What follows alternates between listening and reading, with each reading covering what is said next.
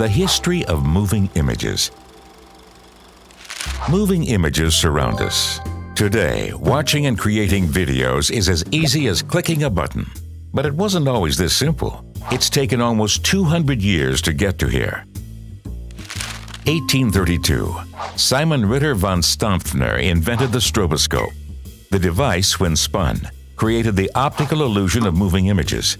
In 1861, a similar device made it possible to project the images onto a wall. In 1872, the governor of California hired British photographer Eadweard Muybridge to help him win a bet that during a horse race, all four of the horse's hooves would leave the track.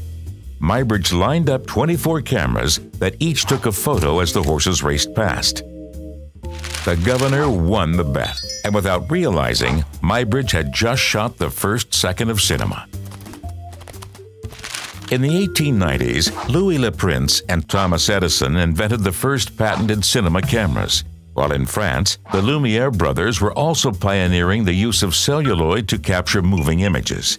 At around the same time, the invention of the movie projector meant that an audience could watch the images, and so cinema became a reality.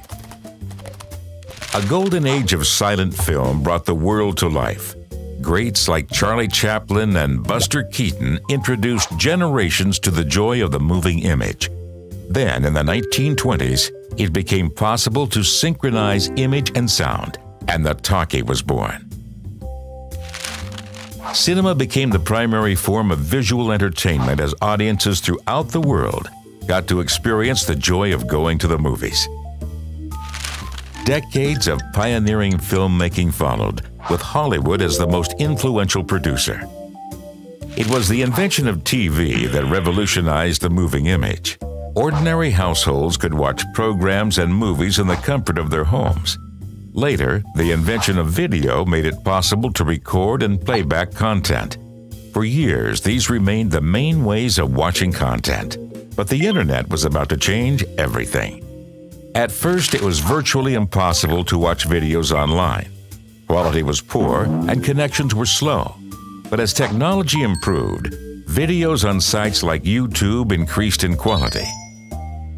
Now, advanced cameras built into mobile devices means anyone with a phone or tablet computer can instantly create and upload content. It's never been easier to share moving images with the world. And this is where a new story begins.